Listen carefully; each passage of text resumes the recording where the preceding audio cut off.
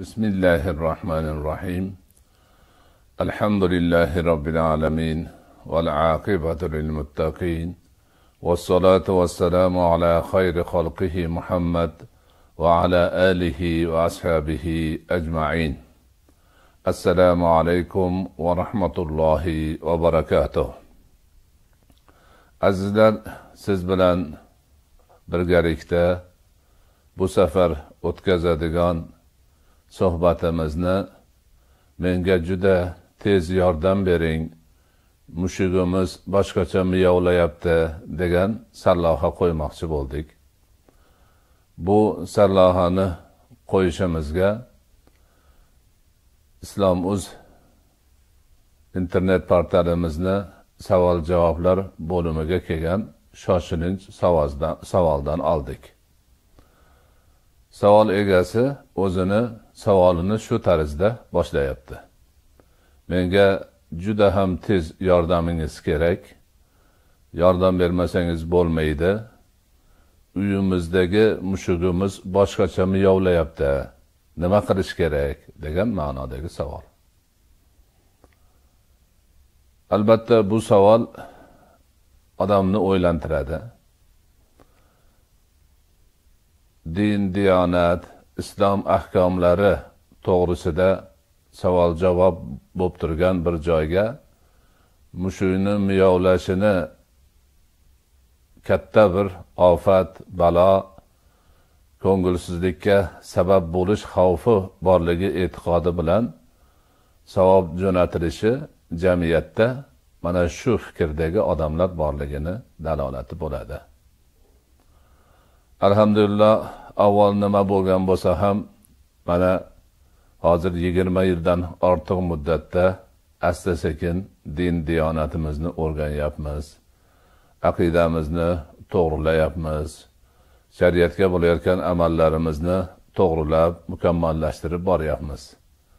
Lekin hani hanuz hali hanuz ichimizda mushukni miyovlashini katta masala qilib ko'tarib katta bir portalga savol tarzida yozib unga juda ham tezda yordam berish kerakligini ta'kidlaydigan odamlar borligi hammamizga obro' keltirmaydi. Bizning dinimiz butun insoniyatni ikki dunyo saodat yo'liga boshlovchi olamshumul amaliyotlar ta'limotlar ibodatlar toatlar amallar dinidir. Mushukni miyovlashi yoki chichqonni chiyillashi shunga o'xshagan turli hayvonlardan chiqadigan ovozlarni tahlil qilish ularni tarjimasiga o'tishga vaqt ham yo'q imkon ham yo'q va bundan foyda ham yo'q. Shuning uchun man o'sha berilgan savolga afsuski man mushukni tilini bilmayman deb javob berdim. Lekin shu bilan birga mana shu savolni o'qishga ketgan vaqtim uchun ko'zimning nuri uchun zehni zakovatim uchun unga yozilgan javob uchun ming marta afsus qildim.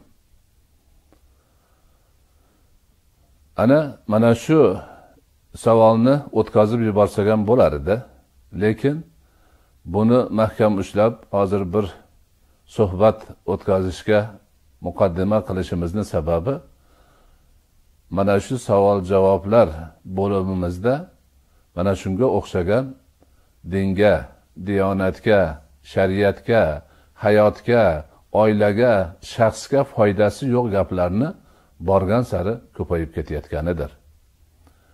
Kechagi kelgan savollarni ichida birov ovora bo'lib ha shu saytga kirib uni ochib yozib so'rayaptiki siniq oynadan o'zini ko'rsa bo'ladimi nazar solsa bo'ladimi?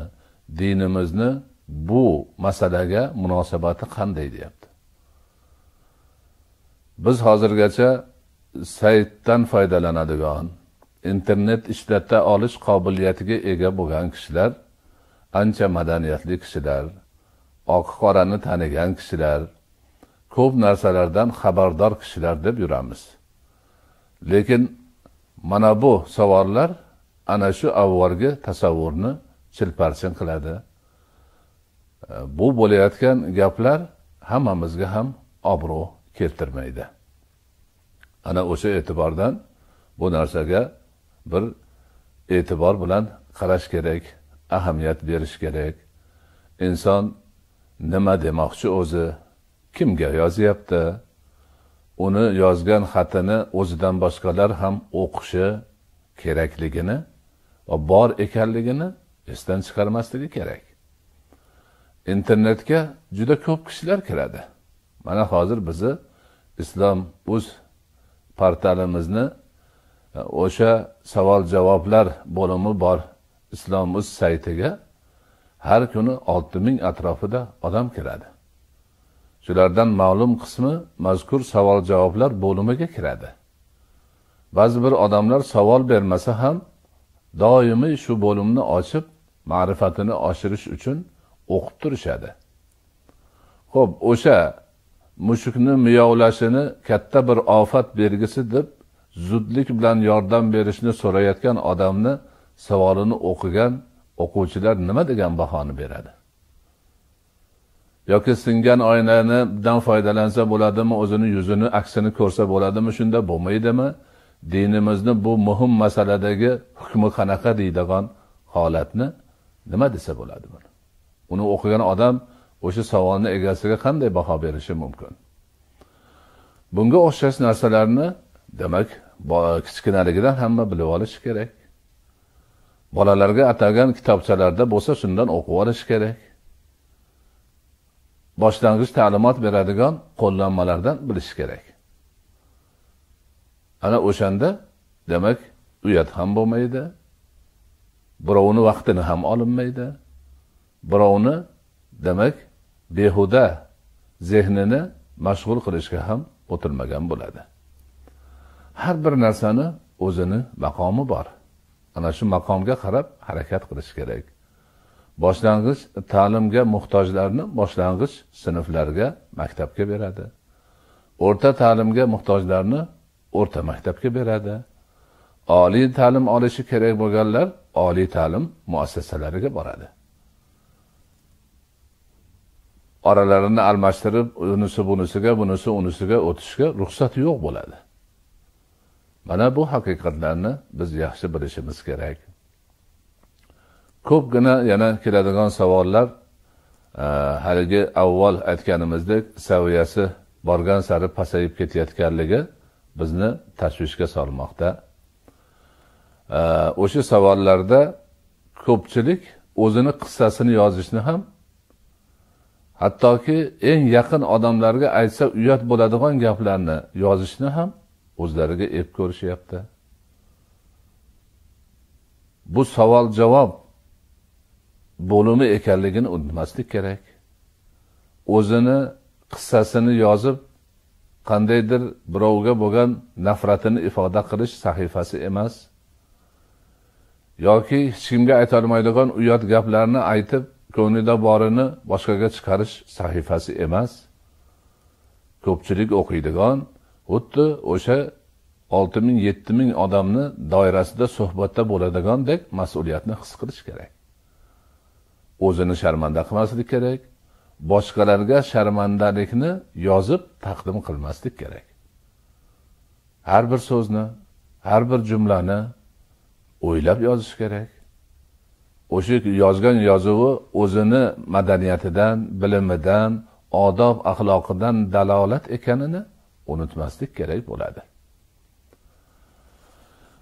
Shuningdek ba'zi bir e, odamlar ming afsuslar bo'lsinki o'sha savollar orqali turli fitnalarni qo'zishga ham harakatda bo'ladilar. Bu narsa bir oz ko'pchilikni harakati bilan nafratini izhor qilishi bilan to'xtab qolganida oxirgi paytlarda yana o'sha fitna qo'zuvchilar harakatga kelib qolishdi. Ahli sunna va jamoa fiqhiy mazhablarni ushlagan mustaqim yo'lda borayotgan mo'min musulmonlarni xayolini buzish fitnaga solish turlik e, gaplarni aytib demak ularni tashvishga qo'yish ma'nosida qasddan savol beradiganlar ham yana bosh ko'tarishib qoldi. Ularni o'zlari dan boshqani musulmonmas sanas e, musulmonmas deb sanashlari savollaridan ochiq oydin bilinib turadi. Bizni saytimiz bemazhablarni sayti emas. Biz ahli sunna va jamoa aqidasidagi muhtaram to'rt fiqhiy mazhablar va xususan hanafiy mazhabidagi odamlarni saytimiz. Shularni jamoasimiz. Bizni hamma gapimiz shu doirada bo'lishini istaymiz. Fitnachilar o'zlarini saytlarida nima deyayotgani bilan bizni ishimiz yo'q. Biz ularga maktub yozib fitna ko'tarayotganimiz yo'q. Biz ularni aytayotgan gaplarini o'zaro urush janjalga sabab qilish uchun buzayotganimiz yo'q. Va shunday ekan ular bizga qarshi suiqasd qilmasinlar. Bizning odamlarimizni ahli sunna va jamoa mazhabidagi kishilarni fiqhiy mazhablarni ehtirom qilib hanafiy mazhabini mahkam tutgan azizlarni tashvishga qo'ymasinlar. Janjalga behuda tortishuvlarga demak chorlamasinlar. O'zlari nimani xohlasa qilaversinlar bizni ishimiz yo'q. Lekin bizni oramizga kirib fitna qo'zg'atishmasin. Ma'lum ularni orqasida turganlar o'rgatadi. Mana buni yozgin mana buni aytgin mundoq degin undoq degin deydi. Shuni qilishadi. Ochiq agar ilmi bo'lsa kelib uchrashib shaxsiy jonli suhbatda gapini aytishga umuman toqatlari yo'q chunki sharmanda bo'lishadi. Nomini yashirib o'zini bildirmay fitna qo'zishni o'zlariga hayot mamot ishi deb o'rganishib qolgan ana bu kishilarni demak xatti harakatlarini xulqi atvorlarini yaxshi bilishimiz kerak. Ularni fitnasiga uchmasligimiz lozim bo'ladi. Shuningdek bu savol javob ma'nosida e, bo'ladigan savollar juda ahamiyatli o'rinlik e, mana shu savol berish maqomiga to'g'ri kelishini o'ylashimiz kerak. Ko'pincha insonlar taloq masalasi va moliyaviy janjallar masalasini ham savol qilib berishadi. Albatta bunda bir taraf ya'niki taloq masalasida er xotin ikki taraf bo'ladi moliyaviy masalasida ikki sherik yoki bir necha sherik bo'ladi. Ana o'shandan bittalari savol beradi. Yoki ko'proq taloq holatida yoki o'sha moliyaviy janoblarda uchinchi taraf ya'niki oradagi vositachi savol beradi.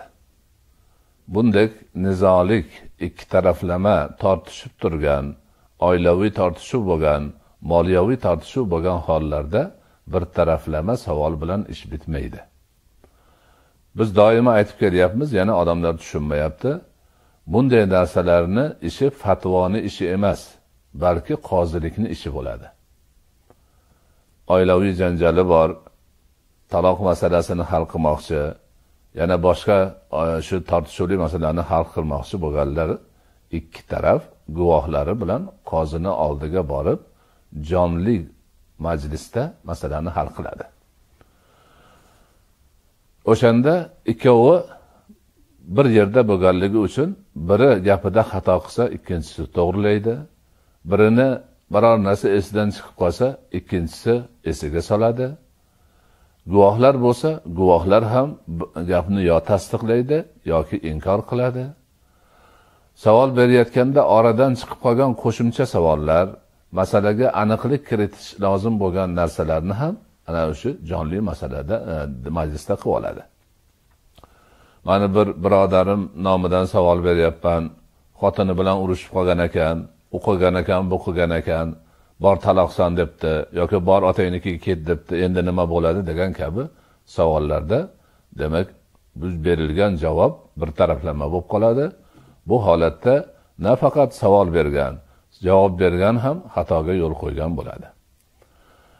Endi o'sha so'ralganim ilm uchun so'ralyapti o'rganish uchun so'ralyapti degan e'tiborda ba'zi vaqtlarda javob ham beriladi. Lekin keyin bilsak o'shani ushlab olib kimnidir oldiga borib mana bunaqa ekan mani haqqimni ber palon piston deyish holatlariga o'tish bor. Bu moliyaviy masalalarda ham shunaqa. Ikki taraf yoki uch to'rt taraf talashib qolib orada mol bor nizo bo'lyapti. Bittasi kelib aytsa o'zini gapini aytadi. Ikkinchini gapini aytmaydi. Esidan chiqqan bo'ladi yoki oxirigacha bilmaydi. Bunday holatda demak xatoga yo'l qo'yilishi bor.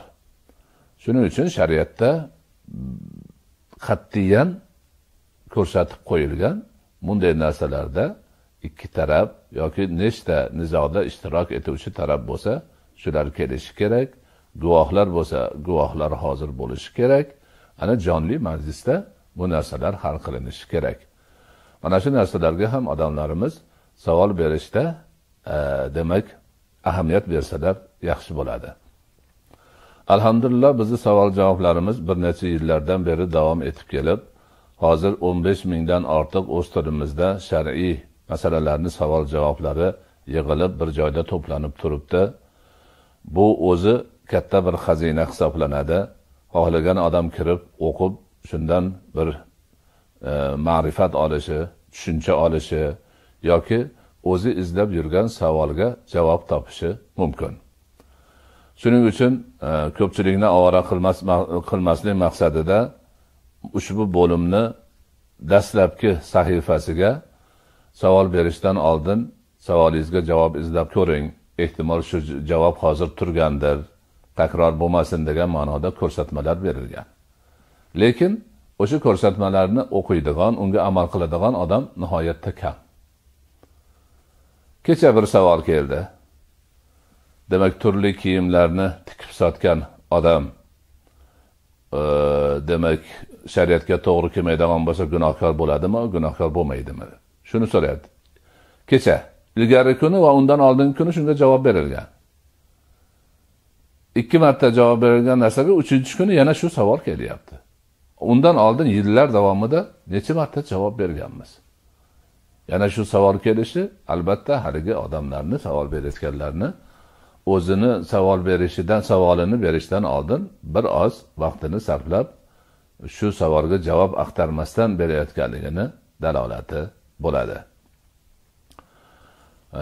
Ana o'sha e'tibordan agar hammamiz tushungan holda savodlik tarzda odob axloqqa rioya qilgan holda savol javoblarni olib borsak inshaalloh e, bu savol javoblar unumli bo'ladi foydali bo'ladi. Hammamiz uchun shariatimizni o'rganish shariat ahkomlarini o'rganib hayotga tatbiq qilish borasida juda yaxshi natijalarga sabab bo'ladi. Alloh subhanahu va taolo barchalarimizni rushdi hidoyatga o'zi boshlasin. Shariatini to'g'ri yo'l bilan o'rganib borishimizni savol berishda savol berish odoblariga rioya qilishimizni javob berishda javob berish odoblariga rioya qilishimizni fitnaga sabab bo'ladigan savollarni gaplarni ko'tarmasdan e, odob bilan yurishimizni nasib etgan bo'lsin واخر دعوانا ان الحمد لله رب العالمين والسلام عليكم ورحمه الله وبركاته